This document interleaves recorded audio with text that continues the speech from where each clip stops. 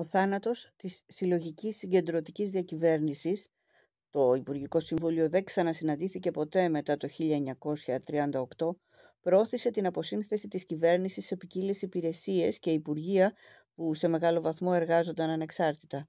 Παράλληλα με τα Υπουργεία και τις κομματικές υπηρεσίες, υπήρχαν ζωτική σημασία βάσεις εξουσίας, που επικάλυπταν εν μέρη τόσο το κόμμα όσο και το κράτος και αντλούσαν την εξουσία τους αποκλειστικά από την εντολή του Führer. Το τετραετές πρόγραμμα και ιδίως η αυτοκρατορία των ΕΣΕΣ και της αστυνομίας ήταν μεταξύ των σημαντικότερων βάσεων εξουσίας. Με αυτόν τον τρόπο η συνολική δομή της διακυβέρνησης κατέληξε να είναι ένα χάος συνεχώς μεταβαλλόμενων βάσεων εξουσίας και αντίπαλων φατριών. Χάος όμως που απελευθέρωσε τεράστια ενέργεια και περιείχε τη δική του εν καταστροφική δυναμική.